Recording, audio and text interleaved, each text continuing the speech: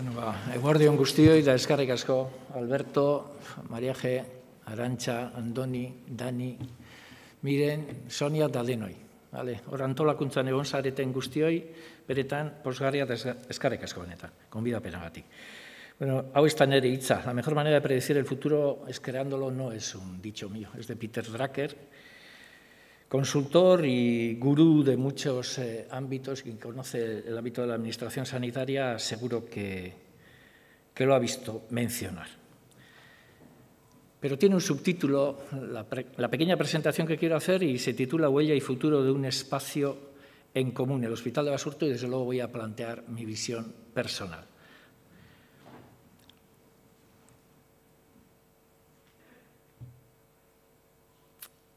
Este es un dicho de André Gide que dice que todas las olas del mar deben la belleza de su perfil a las que las precedieron y se retiraron.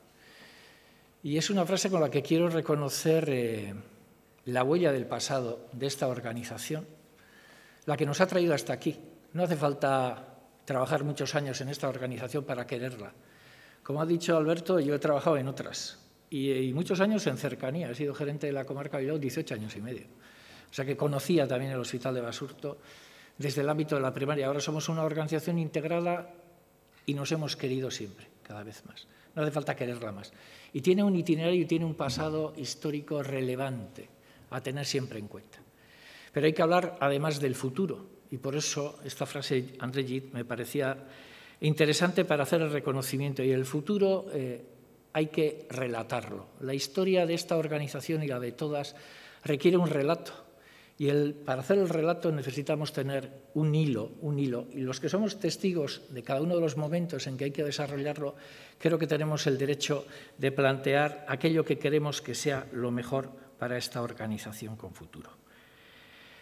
Newton decía también que si veo lejos es porque estoy encima de los hombros de un gigante. Y yo creo que los que nos han traído hasta aquí en la historia de esta organización han hecho posible que tenga en este momento este carisma, este sentido de pertenencia, estas características, esta singularidad que la hacen además ser relevante, relevante en el presente pero relevante en el futuro.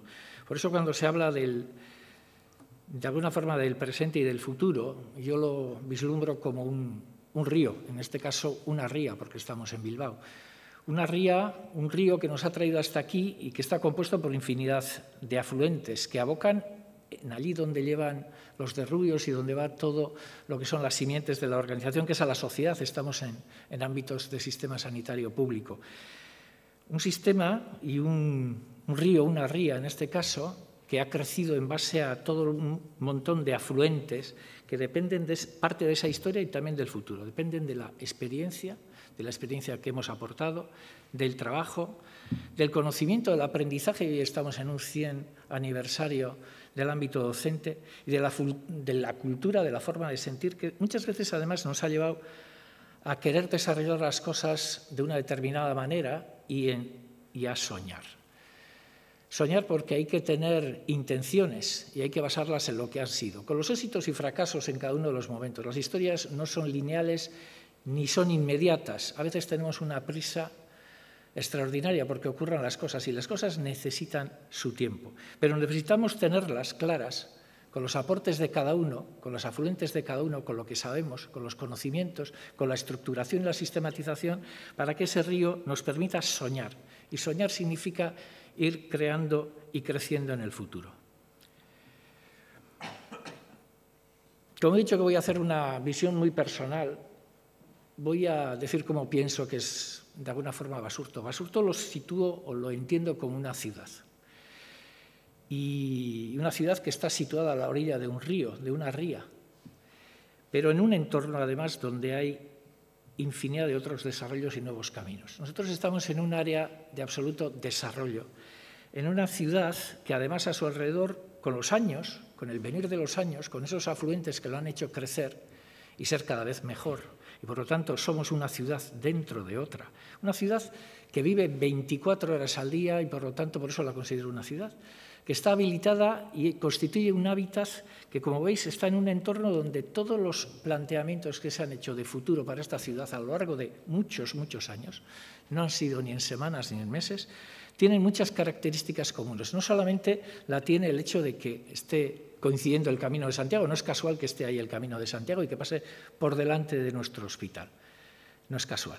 Pero no es casual cada una de las imágenes que aquí he puesto y podían ser bastantes más. No es casual que tengamos el Guggenheim, que es un signo de apertura, no lo es la Torre, no lo es el Museo de Bellas Artes, no lo es el Palacio Euskalduna, no lo es San Mamés, un emblema de pasión en esta ciudad, no lo es cada una de las situaciones que hay.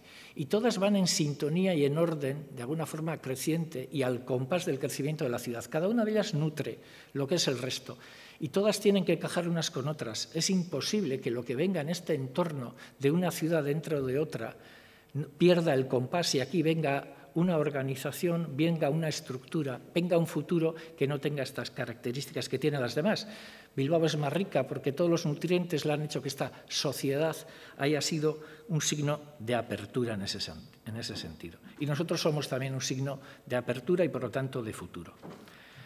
A veces, cuando, sin embargo, la historia nos trae hasta aquí, pensamos que puede estar todo bien hecho o que ya está todo hecho. Y no es verdad, porque, como habéis visto, en ese compás y en esa sintonía con todo lo que ha crecido la ciudad, nosotros tenemos que seguir también mejorando en ese mismo entorno. Nosotros al final somos los que hacemos, cada uno de nosotros y cada uno de esas estaciones de paso, somos los que estamos acabando por mejorar un contexto de ciudad todavía más grande. Y somos ciudades dentro de ciudades. Y a veces, pues, eh, tenemos momentos de incertidumbre. Tenemos que ir mejorando y cuando llegan los momentos de incertidumbre nos ocurren situaciones, voy a decirlas, de crisis, de determinadas crisis, que hay que sortear en ese sentido. A veces eh, nos preguntamos qué tenemos que hacer ahora, a veces tenemos algo más por hacer y si no sabemos hacerlo, ¿dónde nos nutrimos? ¿Cómo lo hacemos? Si ya no somos capaces, es imposible que nos podamos preguntar eso, pero a veces nos lo, nos lo preguntamos. ¿Y si no se puede hacer? ¿Y si alguien, de alguna forma, o alguien es, o entre nosotros ya no somos lo que éramos? Es imposible que pensemos así porque yo creo que, insisto, seguimos teniendo futuro. A veces estos entornos de pensamiento,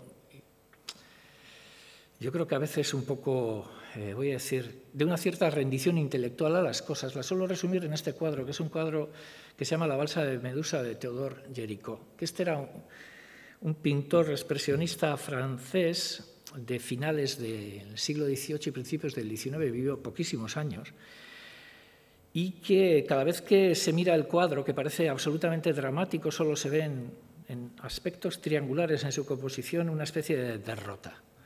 Lo que no se suele ver en este cuadro es que hay un señor en una de las esquinas que está banderando y que tiene una bandera y que está mirando al horizonte. Y en ese horizonte lo que se ve es precisamente el futuro. Un futuro, ahí veis una imagen al fondo del todo, en el que tras las reflexiones y las crisis que hay que tener en cada uno de los momentos, que las tienen todas y cada una de las organizaciones, ¿quién no se acuerda de la crisis que hubo en Bilbao cuando se planteó el crecimiento del Guggenheim? Yo lo voy a contar con una anécdota clarísima. Yo vivía en la calle Lersundi y trabajaba en Gran Vía 62.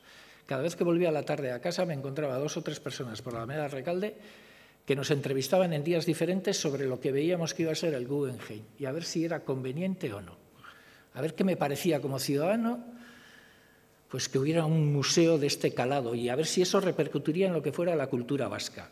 Yo decía, a mí me parecen absolutamente compatibles. Aquí hay sitio para todo el mundo. Yo cada vez decía que sí al Museo Guggenheim. No sé cuántas veces me entrevistaron, porque como estaba de camino, pues la verdad es que accedía a todas las entrevistas voluntariamente. Pero es verdad, cada una cada una de estas situaciones ha hecho crecer Bilbao y nosotros estamos en una situación en la que podemos seguir creciendo. ¿Por qué? Porque yo creo que una buena estrategia, y esta es una frase de Michael Porter, comienza con el objetivo correcto.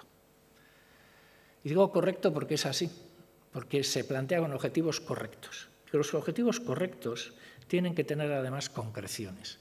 Objetivos correctos y concreciones. Y nosotros tenemos en este momento varias oportunidades de ir diseñando ese futuro de mejora al compás de la ciudad de la que formamos parte y del resto de la ciudad de la que además eh, somos compatibles y a la que estamos en compás, porque ya habéis visto lo que ha crecido Bilbao y lo que ha mejorado ciudad, tenemos una oportunidad clara que antes, eh, pues eh, Joseba Pineda me ha hecho un spoiler, lo tengo que decir así de claro en la presentación, porque llevo tanto tiempo hablando con él que siempre hablamos de varias cosas que son claras. Una, hablamos de una confluencia inevitable entre lo que es la OSI Bilbao Basurto y la Universidad del País Vasco. Como veis ahí, tenemos una oportunidad de que dos cauces de río puedan confluir y además en este caso para seguir mejorando sociedad.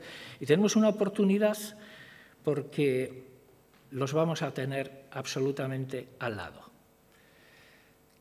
Cada una de las dos organizaciones, la universidad, la facultad, la facultad de medicina, enfermería y fisioterapia, no se nombran muchas veces las tres, pero son las tres las que van a ocupar alrededor nuestro, estamos trabajando conjuntamente. Cada uno se está haciendo unas preguntas relevantes y las reflexiones ante las situaciones de oportunidad y de crisis, y acabamos de hablar, acabamos de ver un DAFO con oportunidades, cada una de las organizaciones se está haciendo básicamente estas preguntas relevantes, porque hay que reflexionar porque las cosas no son de la noche a la mañana. Se está preguntando, según decía el círculo de Simon Sinek, qué, cómo, por qué y para qué, porque cada uno viene y proviene de culturas diferentes.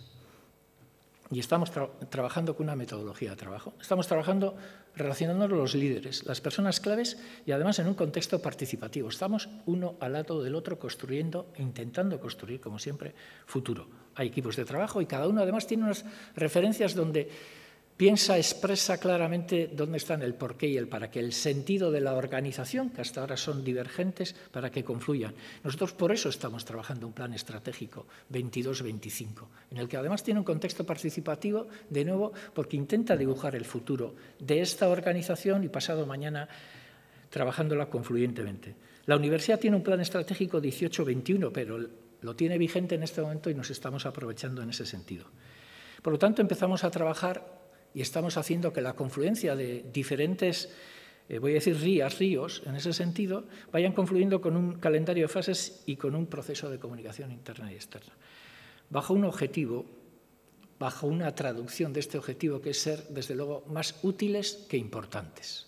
Importantes ya lo somos cada uno, pero cuando confluimos tenemos que sentirnos más útiles que importantes. Eso que veis ahí es el buque saltillo que también es un emblema de la universidad. ¿Y qué estamos haciendo las dos organizaciones en ese contexto de confluir para constituir un cauce nuevo, un cauce de mejora para el sitio donde estemos trabajando, para la ciudad en conjunto y para los profesionales que estemos? Pues estamos haciendo un montón de cosas. Estamos haciendo un análisis de lo que sabemos uno del otro y de la información. Estamos negociando cosas. Cada uno todavía piensa individualmente y particularmente. Estamos trabajando en una planificación estratégica conjunta. Estamos organizándonos porque vamos a convivir y trabajar. Estamos en un proceso de transición, porque hasta ahora cada uno hemos estado en una punta, pero ahora nos vamos a juntar y tenemos que aprender uno del otro. La transición significa mudanza y cambiar arquetipos que tenga cada uno y desarrollar los siguientes. Y tenemos que buscar esa confluencia que es el objetivo. Y luego tenemos que ver cómo nos ha ido trabajando conjuntamente no vale con procesos intermedios. Hay que evaluar cada cosa que proponemos que se haga, si tiene una justificación, si tiene una razón de ser, ha de ser evaluada. Y aquí hay un proyecto que creemos que tiene y requiere su evaluación. Luego hay profesionales de ambos estamentos, de ambas instituciones Barcatu, que estamos trabajando. Al final tenemos sí que un objetivo concreto y correcto, y es hacer un cambio cultural de lo que hasta, uno, hasta ahora cada uno pensábamos que era nuestra leyenda, nuestra huella y desde luego trabajar por un contexto de futuro. Y aquí lo representamos con esta imagen. Vamos a tener en cuenta a quien nos debemos, que es el cliente externo, al cliente interno, que son nuestros profesionales con, los que hay que trabajar. Hay que hacerlo en un contexto de conversar, de escuchar. Por lo tanto, tiene que ser participativo. Tenemos que aprender del otro y tenemos un valor conjunto cuando estamos hablando de la facultad y de lo que es su desarrollo práctico. Porque si la facultad tiene algo, además de un gran desarrollo de futuro, tiene también muchos ámbitos teóricos que necesitan de nosotros para su desarrollo práctico. Y por eso tenemos una oportunidad ahí. Y luego no vamos a dejar de tener sentidos de pertenencia, pero lo que sí vamos a hacer es un cambio cultural compartido. Vamos a transformar la organización, vamos a transformar ambas organizaciones porque ambas organizaciones van a ser, y están siéndolo ya, porosas unas con otras. Bueno, los primeros frutos de esa confluencia, en la que ya veis solo hay un cauce ya, ya están ya están teniendo lugar. Estamos trabajando conjuntamente con lo que es el BPSO, el Best Practice and Spotlight Organization. El pasado 9 de marzo, ambas eh, instituciones fuimos al Palacio Euskalduna y dijimos tácitamente, explícitamente, ya mejor dicho, que queríamos trabajar conjuntamente. Los primeros árboles, con esas simientes, con esos grupos de trabajo, con esa planificación estratégica, con esa organización, ya están teniendo lugar. Eso hasta ahora había sido un propósito, pero ya está teniendo lugar, ya está siendo una realidad. Va a ser una próxima realidad la propia facultad. La facultad, el otro día en una reunión que mantuvimos la semana pasada con miembros de la misma, nos dijeron que van a empezar sus obras el próximo 1 de junio. Luego ya veremos si es el 15 de junio o es el 30 o lo que sea. Pero en ese derrotero van a empezar a precintar la zona adyacente al pabellón Arrupe, Ampuero, etc. Os lo comunicaremos y tendréis puntual información de todo lo que se ver. Pero esto ya empieza y tienen tres años para constituirse como una facultad de medicina, enfermería y fisioterapia. Los vamos a tener al lado. Ya empiezan a ser cosas tangibles. Aquí uno de los aspectos que va a tener el proyecto. Y estamos trabajando más propósitos con ellos. Si queremos trabajar en un contexto de desarrollar conocimiento, una de las primeras cosas, una de las que queremos poner en el literario como un propósito y que hemos planteado para seguir creciendo al compás que va a ir construyéndose en la facultad, es desde luego generar que la capilla sea un gran centro gestor del conocimiento y que aúne en confluencia todo lo que nuestro desarrollo y nuestra organización sea posible. Y estamos con ese proyecto, con este propósito. También queremos hacer, este es el aspecto que tiene o que puede acabar teniendo la capilla. También queremos hacer lo mismo con el pabellón Areiza Sarra, que en el propósito que queremos, en la propuesta que tenemos, insisto en el tema de los propósitos, queremos que sea también una que sea también un, voy a decir, una estructura que aborde lo que tiene que ser la cuestión quirúrgica. Y por lo tanto va a tener en el centro va a haber todo un desarrollo a ese nivel. Esto siempre, insisto, que no, somos, no estamos solos a la hora de desarrollar estas cosas, y lo voy a decir así, si patrimonio nos deja, porque a la hora de ser útiles e importantes, más que importantes, tenemos que trabajar con que los demás también participan en nuestras decisiones y a veces en este caso pues tenemos nuestras divergencias con patrimonio para que entienda que es útil que esa capilla sea un centro de conocimiento para toda la organización y que Ariza Sara se convierta también en un centro donde haya posibilidades quirúrgicas. Estos serán seguramente los frutos iniciales, pero nosotros seguimos planteando bajo estos propósitos todavía un propósito mayor. Hemos hablado de la confluencia entre la facultad, hemos hablado con eh, la OSI Bilbao Basurto en ese sentido y el aprovechamiento futuro que podemos tener. Pero tenemos un proyecto de una gran envergadura que le da otra confluencia y que ahora es verdad, es un propósito, porque todavía no hay ni un concurso ni nada, pero que ya tiene muchos trazos de lo que tiene que ser el dibujo final para el tema. Y hay que contarlo, porque las cosas que llevan su tiempo y tienen su necesidad de maduración hay que contarlas mientras van sucediendo. Y nosotros tenemos un proyecto de Bilbao Basurto Berría enorme. Hoy solo voy a hablar de la parte correspondiente a Basurto porque hay más cosas. Antes de continuar, me gustaría decir otra cosa. No solamente estamos trabajando con el BPSO y estamos trabajando en, eh, los aspectos que trabajado. Nosotros trabajamos muchos ámbitos estratégicos, como por ejemplo es la investigación e innovación. Antes Joseba Pineda no lo ha contado, pero ya estamos generando grupos de trabajo para trabajar los desarrollos de investigación e innovación con la universidad. Todavía insisto en propósitos, constituciones de grupos, formulaciones de estrategias, pero estamos creciendo, estamos creciendo también en ese sentido. Bueno, Bilbao Basurto Berría. Algunos ya conoceréis que estamos envueltos en un proyecto importantísimo que va a cambiar la configuración y la cara de esta organización. Una organización en que la situación actual, la verdad es que no facilita, solo promueve la dispersión de los servicios. No se trata solo de que, de que quien diseñó Basurto eh, tuviera un desarrollo copiado de un hospital de Hamburgo, como ayer se nos contó en la jornada inaugural, sino que hay muchísimos problemas de accesos, multiplicidad de accesos, de tráficos de visitantes, hay falta de coordinación en los servicios precisamente por esa arquitectura, hay problemas de accesibilidad, etcétera, etcétera, y nosotros lo que estamos haciendo es cambiar esta imagen por una más sencilla. Antes hemos estado hablando que no vamos a hacer lo complicado, vamos a intentar que lo complicado sea simple y nosotros vamos a crecer con una gran edificabilidad en el ámbito de la zona de capuchinos. Ese es el propósito, esa es la propuesta y según se vaya formulando la tendréis.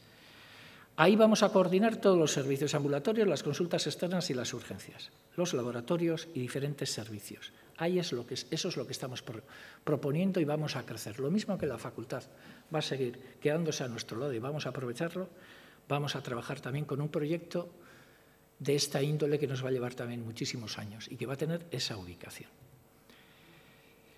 Aquí hay un desarrollo de lo que estamos proponiendo en esos propósitos que tiene que ser todo lo que vaya abordándose. Le llamamos en una primera eh, fase Capuchino Sur, ahí en medio, Ana, no estás, Ana, está ahí farmacia, Mila está ahí farmacia, pero ya sabéis que todo va a acabar teniendo su resolución. ¿eh? Ese cacharrito que está ahí en la mitad, ¿eh? con todo el respeto del mundo, es farmacia, donde también patrimonio tiene su propia opinión de los temas. Pero como veis, hay desarrollos que en este momento están dispersos, que nosotros en una nueva conceptualización y transformación de la organización las queremos proyectar en ese contexto de edificabilidad. Y hay muchas cosas que están planteadas, desde unidades de ensayos clínicos hasta otros desarrollos, en conjunción, además, insisto, con la facultad. Hay un edificio de Capuchinos Norte que le llamamos porque está en la mitad farmacia. No por eso, pero estando farmacia en la mitad, además tenemos que desarrollar. Luego, nosotros vamos a tener una conjunción de edificabilidad importantísima con unos desarrollos que están ahí planteados. Y como veis, tienen una posibilidad futura, ahora en propósito, mañana en realidades, que nos viene para la mejora de la organización. Seguimos con los desarrollos, no, es, no hay tiempo, pero veis ahí hablamos de la capilla, hablamos del edificio de Adeliza Sarra, hablamos de capuchinos, hablamos de una edificabilidad. Incluso hay un edificio biomasa que está ahí en una esquina allí, de 5.000 metros cuadrados, que tiene que nutrir de energía a la facultad y a nosotros para que sea una realidad. Con lo cual os podéis imaginar la oportunidad que tenemos de seguir confluyendo. Y esto le falta pues, un tiempo para que sea tangible.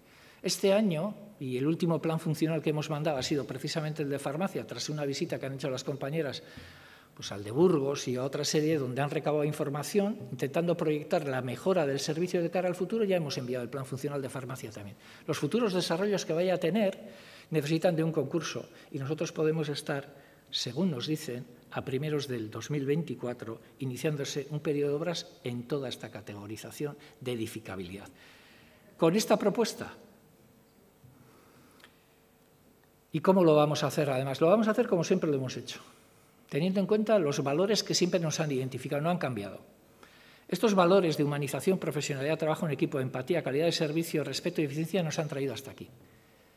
Nos han traído hasta aquí, desde ese 1908 y ahora con el 100 aniversario 1921. Esos no han cambiado. Cada vez que hacemos una encuesta y ahora en relación al plan estratégico planteamos cuáles pueden ser las señas de identidad que nos identifiquen, están aquí y vuelven a salir prácticamente las mismas. Esas que todos los residentes cuando vengan a las acogidas tienen que percibir en cada uno de los comportamientos, y aquí también acabamos de hablar de comportamientos que hay que ir cambiando. Estas tienen que ser las señas de identidad del futuro.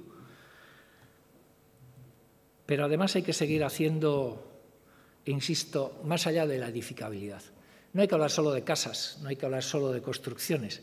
Por eso he dicho que me ha hecho Joseba un spoiler, porque hablo tanto con él que cuando hablamos Joseba y yo hablamos no solamente de el continente, como él ha dicho, sino del contenido. Y esta es una conversación habitual que tenemos. Eh, el proyecto de Bilbao Basurto Berría, el proyecto de la facultad, no son suficientes si no tienen, si no tienen una mejora de la cartera de servicios interna, en los ámbitos clave de la organización, en investigación e innovación, en docencia y en prestación del servicio. Todos ellos van a requerir su proceso de maduración y todos ellos van a requerir, porque lo que son ahora son propósitos, van a requerir su tiempo para que tras esos procesos de contraste y de desarrollo acaben constituyéndose seguramente muchos de ellos en tangibles. Y eso necesita su tiempo. Muchos de los jefes de servicio que estáis aquí y otra gente habéis venido a mi despacho y a otros despachos planteándonos propuestas. Yo he oído hablar de la cirugía de cervix, del implante coclear, he estado oyendo hablar de la unidad de ensayos clínicos, del hospital virtual, he estado oyendo hablar de infinidad de ellos, he estado oyendo hablar de cirugías oncológicas relacionadas, diferentes cirugías, de la cirugía de espalda, y además dos servicios han venido a comentármelo. Hemos estado hablando de la unidad del Parkinson, hemos estado hablando de infinidad y podría seguir enumerando muchas de las cosas que lo que hacen es plantear que bajo esos valores hay muchísima gente que está pensando en el proyecto conjunto, en esa confluencia de ir mejorando. Por supuesto, en esos desarrollos va a haber cambios en la anatomía patológica, las urgencias, le veo allí a Juan, van a estar ubicadas en otro sitio mejor porque la organización tiene que ver. Y para todos ellos, en un contexto de organización sanitaria integrada, tendremos que trabajar en esa confluencia. He mencionado algunas de las propuestas y propósitos que me habéis hecho pero todos los días hay alguna persona y un contingente de gente que quiere cambiar las cosas y mejorarlas. Siempre se ha hecho así en este hospital. Yo ayer estuve desde las tres y media hasta las ocho y media en el Salón Gorbella con mucha gente que hay aquí escuchando muchos de los éxitos y algunos de los fracasos que el tiempo hizo que esta organización sea tan magnífica como lo es. Nosotros estamos en ese momento de oportunidad. Yo apelo, apelo de nuevo a vosotros, para que cada una de las propuestas estas se conviertan en tangibles en un trabajo, me da lo mismo si es el síndrome de comprensión medular o infinidad de cosas, o la unidad de gestión clínica de los laboratorios, o la oncología radioterápica también en un formato, es decir, desarrollos y equipamientos que tienen que venir alrededor de ellas. Hay infinidad. Y hay muchísima gente que viene y nos comenta y ahora nos toca desarrollar con esos valores esos propósitos para que el futuro nos dé una oportunidad en el contraste de que se puedan constituir como tangibles. Y algunos habrá que no, porque no somos los únicos que opinamos de que nos pasa con la capilla o nos pasa con la facultad o nos pasa con todo. Hay otros que también opinan sobre, sobre nosotros. Yo os pido, por favor, y apelo a vosotros para que lo sigamos haciendo. Esta imagen, y termino, que he querido plantear aquí, es la campana de la comunidad, un edificio emblemático del hospital.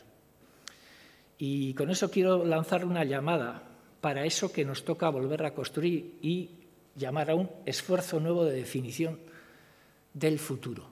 Un futuro que no lo hace cada uno y no lo tiene para el mes siguiente, lo tenemos todos, por eso tiene que ser una conexión participativa, aprovechando las circunstancias que tenemos y planteando lo que dice aquí Sócrates, que el secreto del cambio es centrar toda tu energía no en combatir lo viejo, porque no es en absoluto desdeñable. Yo me siento orgulloso de trabajar en esta organización, sino en construir lo nuevo y tenemos la oportunidad de construirlo básicamente entre todos. Porque con esa construcción al compás y en sintonía con todo lo que ha sido el crecimiento alrededor de la ría y lo demás, lo que hemos hecho todos en cada una de las ocasiones es mejorar esta ciudad. Y ahora tenemos una oportunidad para volver a soñar y ser otra vez lo que fuimos mejorados. Besterik ez, da eskarrik asko